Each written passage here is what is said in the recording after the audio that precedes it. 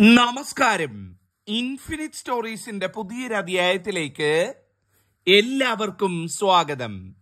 നമ്മുടെ ജീവിതത്തിൽ നിന്ന് സകല ദുഃഖ ദുരിതങ്ങളും നീക്കി സകല അന്ധകാരത്തെയും നീക്കി നമ്മുടെ ജീവിതത്തിലേക്ക് ഐശ്വര്യവും സമ്പൽ സമൃദ്ധിയും പ്രകാശവും നിറയ്ക്കുന്ന മറ്റൊരു ദീപാവലി കൂടി എത്തിയിരിക്കുകയാണ്. നാളെ കഴിഞ്ഞ് മറ്റന്നാൾ ഒക്ടോബർ മുപ്പത്തിയൊന്നാം തീയതിയാണ് ദീപാവലി എന്ന് പറയുന്നത്. ദീപാവലി എന്ന് പറഞ്ഞു കഴിഞ്ഞാൽ ആദ്യം തന്നെ നമ്മൾ മനസ്സിലാക്കേണ്ടത് മൂദേവിയെ നീക്കി ശ്രീദേവി സാക്ഷാൽ മഹാലക്ഷ്മി നമ്മുടെ വീട്ടിലേക്ക് വരുന്ന ദിവസമാണ് ദീപാവലി എന്ന് പറയുന്നത്.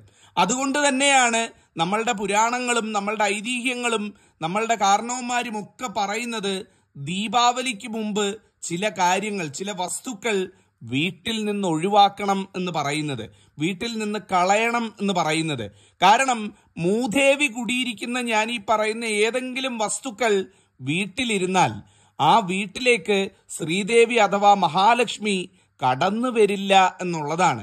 അപ്പൊ ഇന്നത്തെ അധ്യായത്തിലൂടെ മനസ്സിലാക്കാം ഏതൊക്കെ വസ്തുക്കളാണ് ഈ ദീപാവലിക്ക് മുമ്പായിട്ട് ഇന്നും നാളെ സമയമുണ്ട് ദീപാവലിക്ക് മുമ്പായിട്ട് വീട്ടിൽ നിന്ന് കളയേണ്ടത് അല്ലെങ്കിൽ വീട്ടിൽ നിന്ന് ഒഴിവാക്കേണ്ടത് എന്നുള്ളത്. അപ്പൊ ഞാൻ ഓരോന്നായിട്ട് പറയാം. ഈ പറയുന്ന വസ്തുക്കളിൽ ഏതെങ്കിലും നിങ്ങളുടെ വീട്ടിൽ ഉണ്ട് എന്നുണ്ടെങ്കിൽ തീർച്ചയായിട്ടും ഇന്നും നാളെയായിട്ട് അത് വീട്ടിൽ നിന്ന് കളയുക. ഒരിക്കലും ദീപാവലി ദിവസം അത് വെച്ചേക്കരുത്. ദേവിയുടെ അനുഗ്രഹം നിങ്ങൾക്ക് ഉണ്ടാകണം മഹാലക്ഷ്മി കടന്നു വരണം എന്നുണ്ടെങ്കിൽ തീർച്ചയായിട്ടും ഇത് ചെയ്യേണ്ടതാണ്. അപ്പൊ ഒന്നൊന്നായിട്ട് പറയാം. ഇതിൽ ഒന്നാമത്തെ കാര്യം എന്ന് പറയുന്നത് നമ്മുടെ വീട്ടിന്റെ മുന്നിലിടുന്ന പ്രധാന വാതിലിനടുത്തിടുന്ന ചവിട്ടിയാണ്. നമ്മുടെ ഒക്കെ വീടുകളിൽ നമ്മൾ വീട്ടിലേക്ക് കയറുന്ന പ്രധാന വാതിലിനടുത്ത് നമ്മൾ ചവിട്ടിയിടാറുണ്ട്.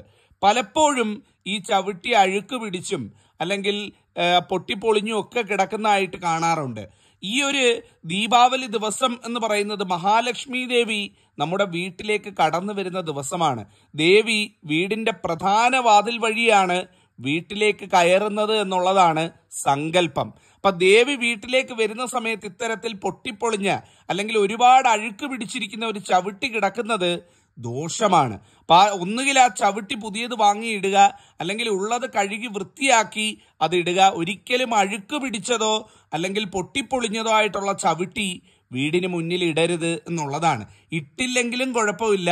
പക്ഷേ ഇടുന്നുണ്ടെങ്കിൽ അത് വൃത്തിയായിട്ട് ഇടുക എന്നുള്ളതാണ്. അതുപോലെ വീടിന്റെ കട്ടളയൊക്കെ ഒന്ന് തുടച്ച് ചെലന്തി വലയോ മറ്റു കാര്യങ്ങളോ ഒന്നും മാറാലെ ഒന്നും വീടിന്റെ പ്രധാന വാതിലിന്റെ കട്ടളയിലോ വാതിലിലോ ഇല്ല എന്ന് ഉറപ്പുവരുത്തുകയും ചെയ്യേണ്ടതാണ്.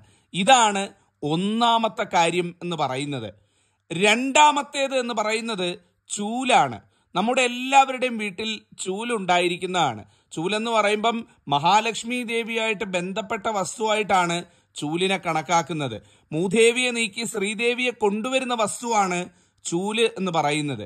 ചൂൽ ഒരുപാട് നശിച്ചിരിക്കുന്നത് അല്ലെങ്കിൽ പുതിയ ചൂൽ വാങ്ങിയതിന് ശേഷവും കൂട്ടിവെച്ചിരിക്കുന്ന പഴയ ചൂലുണ്ട്. ഉപയോഗശൂന്യമായി കിടക്കുന്ന ചൂലുണ്ട് അല്ലെങ്കിൽ കെട്ട് പൊട്ടിയ ചൂലുണ്ട്. അങ്ങനെയൊക്കെ ചൂൽ വീട്ടിലോ അല്ലെങ്കിൽ ഇറയത്തോ ഒക്കെ കിടപ്പുണ്ട് എന്നുണ്ടെങ്കിൽ അത് തീർച്ചയായിട്ടും ഈ ദീപാവലിക്ക് മുമ്പ് കത്തിച്ച് കളയേണ്ടതാണ്. യാതൊരു കാരണവശാലും ഉപയോഗശൂന്യമായ ചൂൽ അല്ലെങ്കിൽ നശിച്ച ചൂൽ വീട്ടിൽ വെക്കാൻ പാടില്ല എന്നുള്ളതാണ്. പല വീട്ടമാരും ചെയ്യുന്നത് തെറ്റ്. പുതിയ ചൂൽ വാങ്ങിക്കഴിഞ്ഞു കഴിയുമ്പോഴും പഴയ ചൂൽ അവിടെ എവിടെങ്കിലും ഇറയത്ത് വെച്ചേക്കും. അത് ചെയ്യരുത്. അത് ഈ ദീപാവലിക്ക് മുമ്പ് കത്തിച്ച് കളയുക നിങ്ങൾ ഉപയോഗിക്കുന്ന ചൂൽ ഏറ്റവും ഭംഗിയായിട്ട് വെച്ചേക്കുക. മറ്റു ചൂലുകൾ ഒഴിവാക്കി കത്തിച്ച് കളയുക എന്നുള്ളതാണ് രണ്ടാമത്തെ കാര്യം എന്ന് പറയുന്നത്. മൂന്നാമത്തേത് എന്ന് പറയുന്നത് വളരെയധികം ശ്രദ്ധിക്കണം. നിങ്ങളുടെ ആരുടെയെങ്കിലും വീട്ടിൽ ചോർച്ചയുള്ള നിലവിളക്കുണ്ടോ എന്നുള്ള കാര്യം നോക്കുക. ഉണ്ട് എന്നുണ്ടെങ്കിൽ ആ നിലവിളക്ക് ഉടൻ തന്നെ മാറ്റി വാങ്ങുക. ഒരു കാരണവശാലും ദീപാവലി ദിവസം ചോർച്ചയുള്ള നിലവിളക്ക് വീട്ടിൽ കത്തിക്കാൻ ഇടവരുത്തരുത്. എന്താണ് ചോർച്ചയുള്ള നിലവിളക്ക്? മുകളിൽ എണ്ണ ഒഴിക്കുന്ന സമയത്ത് ആ എണ്ണ ഊർന്ന് ആ നിലവിളക്കിന്റെ ബേസിൽ അഥവാ നിലവിളക്കിന്റെ താഴെ ഭാഗത്ത് വരികയാണെന്നുണ്ടെങ്കിൽ അത് ചോർച്ചയുള്ള നിലവിളക്കാണ്. അങ്ങനെയുള്ള നിലവിളക്ക് നിങ്ങളുടെ ആരുടെയെങ്കിലും വീട്ടിലുണ്ട് എന്നുണ്ടെങ്കിൽ എടുത്തു പറയുന്നു. ഇന്ന് തന്നെ അത് മാറ്റേണ്ടതാണ്. ഒരു കാരണവശാലും അത് ഉപയോഗിക്കരുത്. നിങ്ങളും വീടും ദോഷത്തിലേക്കാണ് പോകുന്നത്. സർവനാശമാണ് ഫലം. ഒരിക്കലും അത് ചെയ്യരുത്. ചോർച്ചയുള്ള നിലവിളക്കുണ്ടെങ്കിൽ കളയുക എന്നുള്ളതാണ്. ഇതാണ് മറ്റൊരു കാര്യം. അതുപോലെ തന്നെ വളരെ പ്രധാനപ്പെട്ട കാര്യമാണ് നിങ്ങളുടെ വീട്ടിൽ പണം സൂക്ഷിക്കുന്ന ഇടം അതായത് നിങ്ങളുടെ വീടിന്റെ ആധാരം അല്ലെങ്കിൽ നിങ്ങളുടെ സ്വത്തുവകകളുടെ പേപ്പറുകൾ അതല്ലെങ്കിൽ ഉള്ള സ്വർണം പണം ഇതൊക്കെ വെക്കുന്ന അലമാരി അല്ലെങ്കിൽ പണപ്പെട്ടി അത്തരത്തിലുള്ള കാര്യങ്ങളുണ്ടല്ലോ മേശ അല്ലെങ്കിൽ അങ്ങനെയൊക്കെയുള്ള ധനം സൂക്ഷിക്കുന്ന സമ്പത്ത് സൂക്ഷിക്കുന്ന ഇടം. അതെന്ന് പറയുന്നത് മഹാലക്ഷ്മി ദേവിയുടെ വരമാണ്. ആ ഒരു ഇടം ഏറ്റവും വൃത്തിയായിട്ട് സൂക്ഷിക്കണമെന്നാണ് പറയുന്നത്. ഉദാഹരണത്തിന് അലമാരയാണ് എന്നുണ്ടെങ്കിൽ അലമാരയുടെ ലോക്കറിലാണ് വെക്കുന്നത് എന്നുണ്ടെങ്കിൽ ആ ഒരു ഭാഗത്ത് പൊടിയൊക്കെ പിടിച്ചിരിക്കുകയാണെന്നുണ്ടെങ്കിൽ ഒരു തുണി ഉപയോഗിച്ച് അല്പം മഞ്ഞൾ ജലത്തിൽ മുക്കി ഒരു തുണി ഉപയോഗിച്ച് തുടച്ച് വൃത്തിയാക്കി വെച്ചതിന് ശേഷം അതെല്ലാം എടുത്ത് തിരിച്ചു വെക്കുക എന്നുള്ളതാണ്. ഒരിക്കലും കീറിയ തുണി പാഴ്പേപ്പറുകൾ പൊടി ചിലന്തി വല മാറാല ഇത്തരത്തിലുള്ള കാര്യങ്ങളൊന്നും ആ ധനം ഇരിക്കുന്നിടത്ത് വരാൻ പാടില്ല എന്നുള്ളതാണ്. പ്രത്യേകിച്ചും ഈ ദീപാവലി ഉദിക്കുന്ന സമയത്ത് അത്തരത്തിൽ എന്തെങ്കിലും ഇരിപ്പുണ്ട് എന്നുണ്ടെങ്കിൽ ഇപ്പൊ തന്നെ ഒന്ന് നോക്കിയേരെ. അലമാരയിലും പണപ്പെട്ടിയിലും അങ്ങനെ ഉണ്ടെങ്കിൽ അതൊക്കെ ഒന്ന് എടുത്ത് മാറ്റിയേരെ. പഴയ വേണ്ടാത്ത ആവശ്യമില്ലാത്ത പാഴ് പേപ്പറുകൾ അലമാരിയിൽ ഇരിക്കുന്ന കീറ തുണികൾ ആവശ്യമില്ലാത്തത് ഇതൊക്കെ ഉണ്ട് എന്നുണ്ടെങ്കിൽ ഒന്ന് മാറ്റുന്നത് ഏറ്റവും നന്നായിരിക്കും. അതുപോലെ തന്നെ ഒരു പ്രധാനപ്പെട്ട കാര്യമാണ് പൂജാമുറിയുമായിട്ട് ബന്ധപ്പെട്ട്.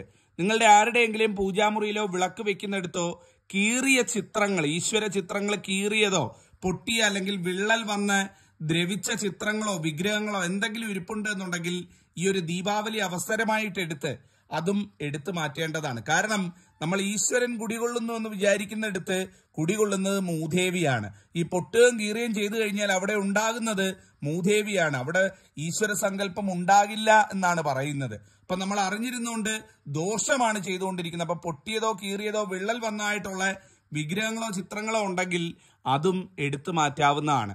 അതുപോലെ തന്നെ നമ്മുടെ വീടും ചുറ്റുപാടും എല്ലാം ചാണകവെള്ളമോ അല്ലെങ്കിൽ മഞ്ഞൾ വെള്ളമോ അതും അല്ലെങ്കിൽ തുളസി തീർത്ഥമോ തളിച്ച് തൂത്ത് വൃത്തിയാക്കി ഏറ്റവും ഐശ്വര്യമായിട്ട് ചപ്പ് ചവറുകളൊക്കെ കളഞ്ഞ് പ്രത്യേകിച്ചും വീടിന്റെ മുൻഭാഗം എല്ലാ ഭാഗവും പറ്റിയില്ലെങ്കിൽ പോലും വീടിന്റെ മുൻഭാഗം ഏറ്റവും ഭംഗിയായിട്ട് തുളസിത്തറ നിൽക്കുന്ന ഇടമൊക്കെ ഏറ്റവും ഭംഗിയായിട്ട് കളകളൊക്കെ ഉണ്ട് എന്നുണ്ടെങ്കിൽ തുളസിത്തറയിൽ നിന്ന് അതൊക്കെ പറിച്ചു കളഞ്ഞ് തുളസിത്തറയിൽ കരിയിലയൊക്കെ ഉണ്ടെങ്കിൽ അതൊക്കെ മാറ്റി തുളസിത്തറ ഏറ്റവും മനോഹരമാക്കി സൂക്ഷിക്കാനും ശ്രമിക്കുക. അപ്പം വീടും മുറ്റവും ഏറ്റവും അടിച്ച് മഞ്ഞൾ വെള്ളം തളിക്കാൻ ചാണകവെള്ളം തളിക്കാൻ പറ്റുമെങ്കിൽ ഏറ്റവും ഉത്തമം മഞ്ഞൾ ജലമായാലും മതി. അതല്ലെങ്കിൽ തുളസി തീർത്ഥമെങ്കിലും തളിച്ച് വൃത്തിയാക്കുക എന്നുള്ളതാണ്. അതുപോലെ തന്നെ പ്രധാനപ്പെട്ട കാര്യമാണ് മാറാല എന്ന് പറയുന്നത്.